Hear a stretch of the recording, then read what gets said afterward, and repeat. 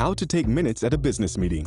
If you work in a business environment, the time is going to come when you will be asked to take minutes at a meeting. Impress your colleagues by already knowing how by following these steps.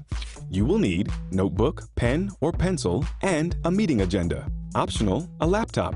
Step 1. Bring a notebook to the meeting with you. If you will be writing minutes often, you may want to buy a good notebook to keep your minutes in rather than a cheap one. If you have a laptop, you should use it to save time later.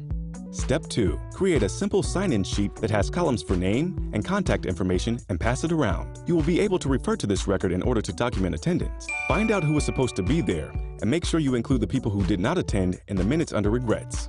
Step 3. Begin note-taking by noting the date of the meeting and the time the meeting was called to order. Step 4. Record old business, which is anything that needed a follow-up from the last meeting. Note anything that was done or not done and by whom.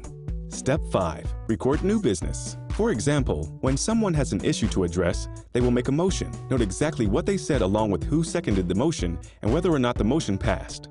Step 6. Write down any action items or things specific participants agreed to do, but don't transcribe word for word debates or discussions. End the notes with the time, the meeting adjourned, and the date of the next meeting. Step 7. Type up the minutes as soon as possible after the meeting so it's fresh in your mind. Once you have typed them, distribute them to members for review and approval at the next meeting. Did you know? During one day, there is an average of 17 million meetings in America.